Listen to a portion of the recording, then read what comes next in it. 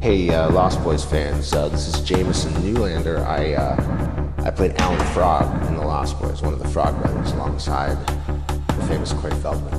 Um, so, uh, listen, uh, there's going to be a, a screening of Lost Boys in Sacramento this weekend, May 7th, at the historic Colonial Theater. I'm going to be there. Billy Wirth is going to be there. G. Tom Mac is going to be there. He's going to sing Cry Little Sister, too. And in honor of that, I'm going to do a little right now. You ready?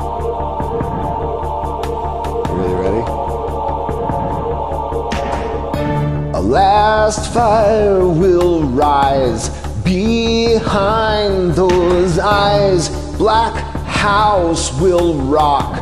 Blind boys don't lie. Immortal fear, that voice so clear through broken walls. That scream I hear.